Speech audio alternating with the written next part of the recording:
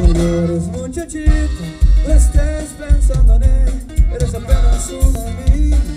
piensas